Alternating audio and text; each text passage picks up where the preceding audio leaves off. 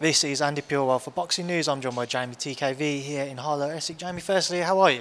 I'm all good, I'm all good. I'm glad to hear it. Um, obviously, we just had a brief chat there off camera. Waiting for news with regards to yourself. What can you tell everybody? What's the latest with your next outing, hopefully?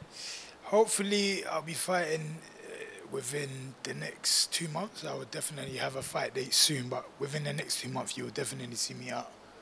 What are you looking at in terms of opponents? Who's in the frame for a potential fight? Anyone, anyone they put in front of me, anything that makes sense, anything that's right, I'll take. The heavyweight division domestically stacked with so many great fighters. Obviously, in the gym you have Fabio Wardley and Anthony Joshua. Um, I know AJ's above domestic level, but you know what I'm saying, just British fighters. Is there anybody who stands out for you in terms of those British names who you feel like you might not be far off from potentially facing? Um, I think everyone can fight each other whenever they want to be honest. So it's not like we're far from each other. Everyone fight can fight each other. But um, there's, the, the, the good thing about the, the British crop right now is that there's a lot of talent there. So I'm really I'm really happy to be amongst like all the great talents coming up right now. Obviously, you've got the one loss on your record as well. Is that something which you feel like in the near future you want to try and put right? Of course, I'm going to put that right sooner than later. Trust me. How much do you feel like you learnt from that fight? I learned a lot.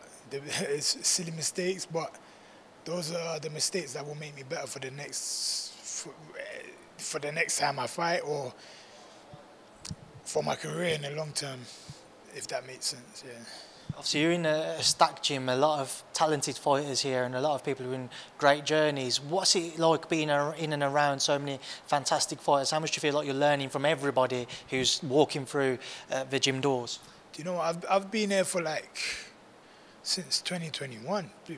So I've been there my whole career, and uh, well, my whole pro career, and I've seen people come and go. I've seen a lot of talents. You know, we had um, obviously Josh Taylor was one of the, the, the big guys. When I first come here, he was obviously the guy. Um, but we've seen a lot. I've seen a lot of people come and go. Not a lot, but a lot of talent have left and gone on to still do good things. But um, it's just good to see people recognizing how good um, the gym is, the trainers are, you know. So um, I'm, I'm just happy to see everyone coming over here and thriving and doing very well. That's the main thing I'm happy about. So it's, it's, it's, it's, it's very good that I'm, I'm here. That's the main, I'm happy that I'm here. What stands out for you when you look at Ben, Lee and Barry? What makes them such a unique and successful team in your eyes? They study the game and they know a lot about the game. They put in a lot of work studying the game. They don't just know the game. They really study the game, and it's not like um, I know it's, it's it's hard to put it in words, but they're very special with how they do it. They do things different, you know, and it's only right that that they do, and their methods clearly work, as you've seen with people's performances that come out of this gym. So, yeah, it's just great methods, studying, breaking down things how they break down, but not to give too much away, but what they do makes sense. As I said earlier on, you're one of two other heavyweights, or three of you altogether, who are in this um, gym currently off the top of my head, unless I'm missing somebody. Um, Fabio Wardley fights on Sunday night against Frazer Clarke. Has Fabio been looking what goes down in his headline heavyweight title fight? I've, I've been helping Fabio with sparring. You know, sparring's been really well. He's he's he's sharp, as always. I feel like Fabio will be a problem on the night. I feel like um, Frazer's not going to expect the power that Fabio has with his hands, and especially with 10 ounce gloves, uh, Fabio might do a lot of damage. So we've got to see. But obviously, I'm not underestimating Frazer. Frazer's a very, very good boxer. Um, tough big guy. You know what I'm saying? So it's not like he's gonna come over and lay over. He's come. He's coming to win and take Fabio's head off as well. So you can't take him lightly. And obviously, his skill set he's he's he's experienced. You know, he's he's fully aware. Uh, do you know what? It's it's going to be a tough 50-50 fight, but I think the early rounds, just like I said before, early rounds going to be Frazer. The later rounds going to be Fabio, but I feel like Fabio probably takes it, well, takes Frazer out late. It's a 12 rounder at the end of the day. That's a lot of rounds. for. To be honest, I, I, Fabio takes it late just put it that way, because I'm going back and forth on this question. um, Jeamie, obviously, the other man's Anthony Joshua. Again, since he's teamed up with Ben and Lee, we've seen two standout performances, one against Otto Wallin and then Francis and Ngannou. What do you feel like they've been helped to bring out of and nurture into Anthony Joshua? Just the basics. It's what he's done before. Like, it's, it's, it's nothing new. As we, like, as we've always known AJ to do what he does, he's doing it now. It's just that before, I guess there was other trainers working on the things that they feel would probably better. AJ probably working on different technical stuff, but what Ben and Lee Wylie and Barry they do, they just keep keep him doing the basics. And the basics, nothing beats the basic. Nothing beats a simple jab.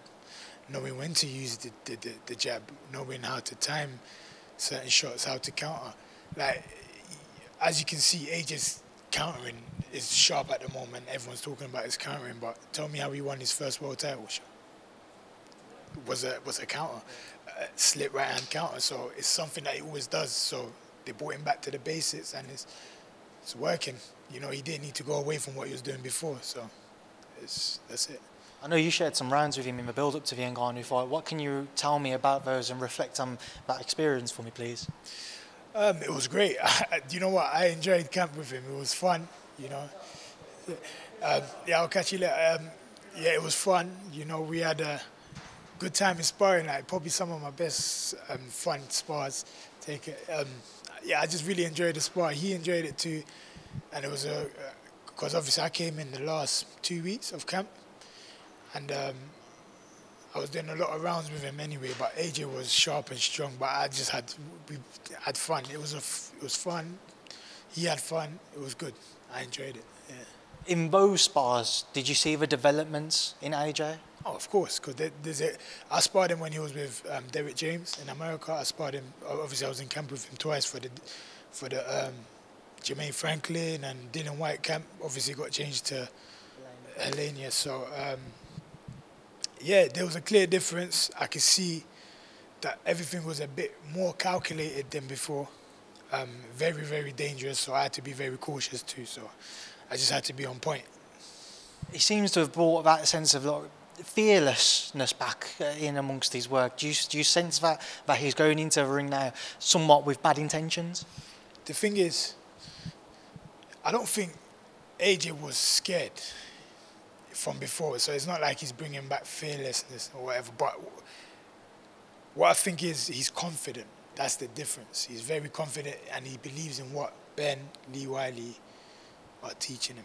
You know what I'm saying? He believes in that. That's what's giving him the confidence to do what he does. You know what I'm saying? To perform the way the way he's doing. So I just feel like AJ's going to be three-time world champion again from the way he's going. So I'm excited, and the way he's moving, I think he probably added three to five more years to his career, to be honest. So we'll be seeing AJ a lot more. Jeamie, listen, I appreciate your time now. To leave you to shoot off. Enjoy the rest of your day. Thank you for speaking to me. I'm sure I'll catch you about soon. Thank you. Thank you for your time.